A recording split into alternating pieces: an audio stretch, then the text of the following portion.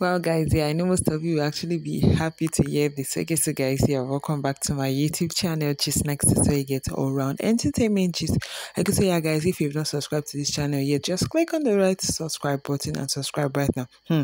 Okay, so guys, now so big brother give our baby girl Bella and Sheggz to like seriously people that drag them like I better pass my neighbor Jen.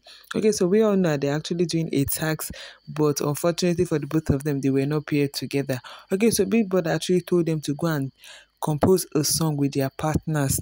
Okay, we all know Sheggz's partner is Phyna, why Cheesy is Bella's partner. So they did not do so Phyna was like she went to go and meet Sheggz two times. Sheggz was like, let her do her own verse, he will do his own verse.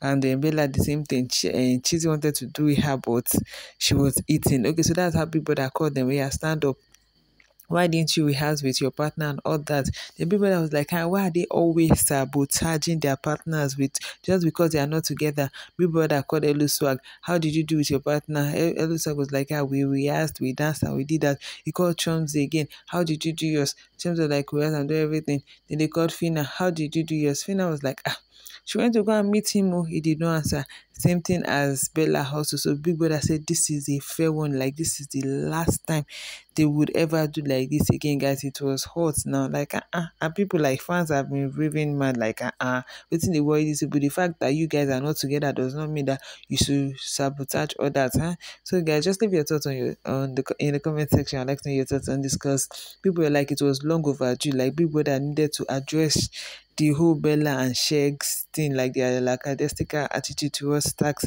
if they are not together, guys. So just leave your comment in the comment section. I'd like to know your thoughts on this. Okay, so yeah, guys, I've come to the end of this video. Thanks for watching and don't forget to hit the subscribe button if you've not subscribed to this channel yet for more news and more updates from the BBNaija Level Up Mansion. Till I come back again, guys. See you all in my next video.